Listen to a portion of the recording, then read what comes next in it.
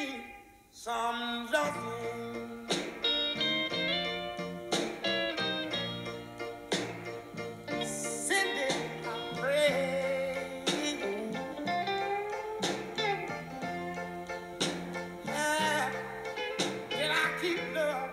Berman a la catalana.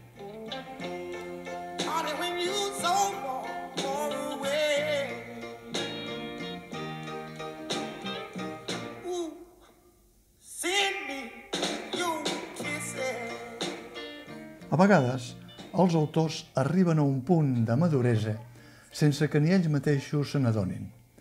És, em sembla, el que li ha passat al dramaturg i director Llàtzer Garcia, que al costat d'un llarg catàleg d'obres representades, algunes premiades, sorprèn ara amb una perla com Les mans. Aparentment senzilla, només amb un parell d'intèrprets, sobre la dificultat de les relacions personals, amb el rerefons subtil de les seqüeles de la malaltia mental, sobre les dificultats de compaginar feina professional i vida privada sota un mateix sostre, sobre l'ego i l'enveja, i sobre les conseqüències d'un còctel de circumstàncies que acaba explotant.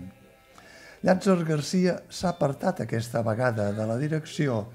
de la seva pròpia obra i ha fet un encertat maridatge amb l'actriu i, últimament, sobretot directora Sílvia Munt, amb qui l'uneix també el fet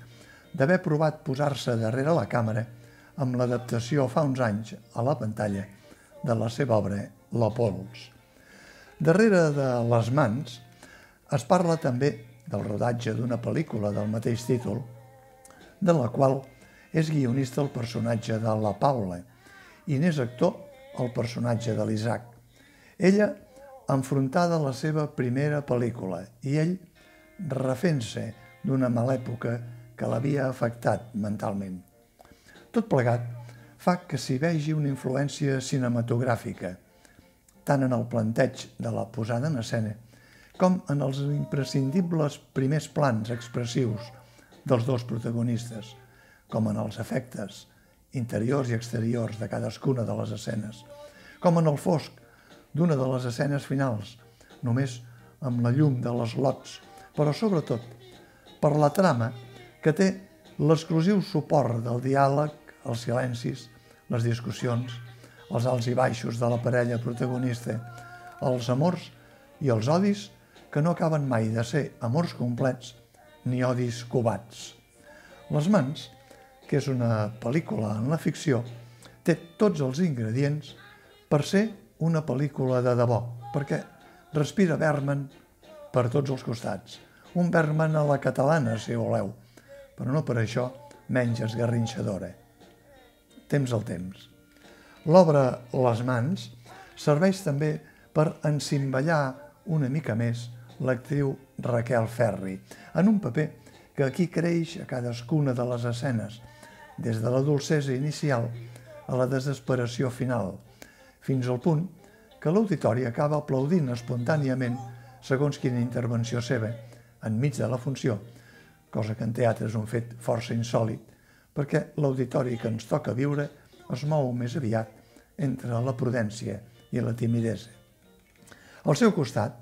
no es fa enrere l'expressivitat carregada de sentiment de l'actor Ernest Villegas i el canvi d'actitud del seu personatge, l'Isaac, des de la confiança inicial per reincorporar-se a la feina de la interpretació en el paper del rodatge de la seva parella, la Paula, fins a la decisió trencadissa que pren un cop s'encén la guspira de la frustració. Els dos configuren una parella escènica de gamma extra. El muntatge, que promet una llarga temporada després de l'estrena del grec i que qualsevol programador teatral de gira amb una aposta garantida hauria de voler tenir present en les seves oracions, compta amb una afinadíssima direcció de Sílvia Munt. Jo diria que una direcció que va més enllà de fer-se seva l'obra i on segurament hi ha posat també la seva mirada a partir del guió de Llàtzer Garcia. Una mirada compartida, repeteixo, que sembla feta des de l'ull de la càmera i que, en tot cas, ha aconseguit extreure de cadascun dels dos intèrprets tot el potencial que poden donar per fer altament creïbles els dos personatges i per expandir entre els espectadors la feblesa de les relacions quan es mouen